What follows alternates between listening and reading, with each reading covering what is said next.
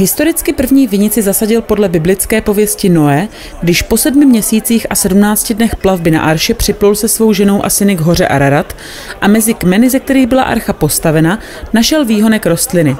Zasadili a počase sklidil první plody – Noé je uložil do čberu a za několik dnů ho čekalo velké překvapení. Místo hroznů našel ve čberu lahodný mok, po němž bylo příjemně na těle i na duši. Tak vzniklo víno. A z letošní první úrody se mohli radovat velkopavlovičtí, kteří na polovinu září připravili tradiční vinobraní se zarážením hory.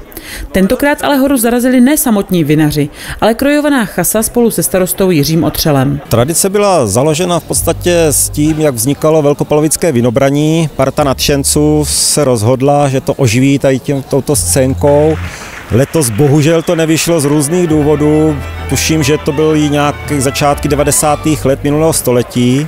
Škoda, že, říkám, škoda, že se kluci, kluci, oni jsou to skoro všechno přes 50 a výš, eh, nedali letos dohromady, je to takové lepší, když se to odehrává mm, ta scénka, než když to tak jakoby já na sucho přečtu jenom. Kromě burčáku a spousty jídla si návštěvníci vychutnali také nabitý dvoudenní program, který okořenil vojenský umělecký soubor Ondráž, slovenská zpěvačka Kristýna, revailová skupina The Backwards a mnoho dalších. Páteční program tradičně patřívá modernější muzice, v sobotu se zase představí folklor. Letos ale udělali pořadatelé malou změnu. Byli tady rivali uh, Beatles, a potom tady byl Blue Cymbal, a na konci byli naši tradiční mílicky, tak jednou za dva roky zavoláme Revival Kabátu Kožuši, to je vlastně dva místní kluci a z Morkůvek kapela. A jak probíhal dnešek? Dneska od rána, nebo od rána, ráno byly přípravy samozřejmě, ale od odpoledne začínal program, tak máme ještě letos menší pódium, kde vystupovala dětská cymbálka, palička a potom se to střídalo se scénou tady. Měli jsme vojenský umělecký soubor Ondráš, který začínal ve dvě hodiny. Ten nás trošku potrápil, ale ne, že by nás trápil, ale spíš přípravama. My jsme vlastně mu přizpůsobili úplně kompletně celý program. Z toho důvodu i ta Kristýna je dneska a nebyla, nebyla vlastně včera jakoby v tom, v tom dnu, kdy, kdy bývá eh, ta modernější hudba. A i z toho důvodu byl vlastně letos posunutý uh, začátek průvodu, aby se to s tím Ondrášem nerušilo a navíc jsem myslel zase na těch, ty, co jdou v průvodu, tak aby aspoň kousek toho Ondráše viděli. Co by to bylo za vinobraní, kdyby na něm chybělo víno? To se samozřejmě nestalo a příchozí měli na výběr vína hned ze šesti vinařství. Ale oslovujeme místní spolek, velko, víno z Velkých Pavlovic, s tím, že oni se domlouvají na počtu. Mají to zase udělané tak, aby v určitému počtu, prostě, když už tam stojí a odstojí se to, tak aby na nějakou korunu vydělali.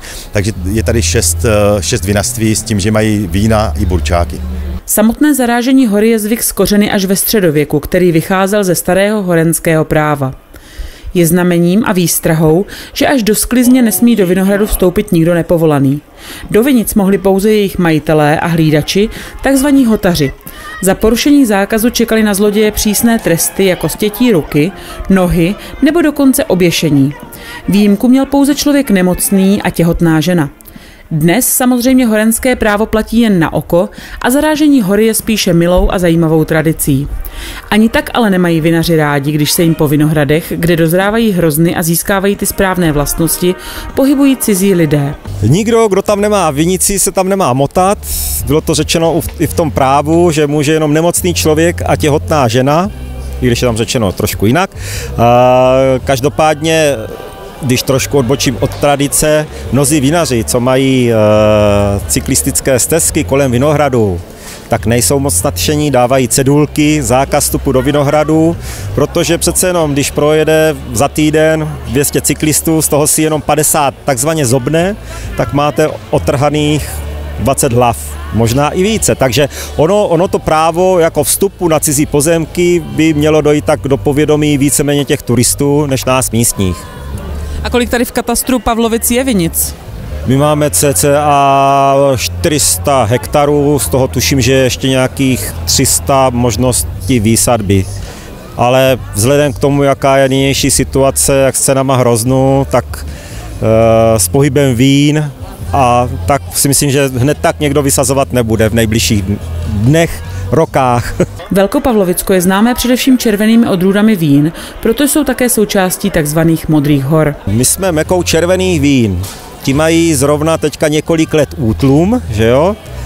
dost lidí najelo, velké výsadby proběhly před vstupem do EU, jo? to znamená v tom roce 2000, 2001, 2003 ještě se to stihlo, dost se vysazovalo modní typy Chardonnay, Palava, Rulandy, Šeďáky, jako odstupovalo se od těch tradičních, eh, tradičních velko, velkoobjemových odrůd, jako byly veltlíny a vlašáky. No. Ale o tom by vám určitě kdejaký pavlovský vinař rád podal informaci. A uh, už začali někteří sbírat?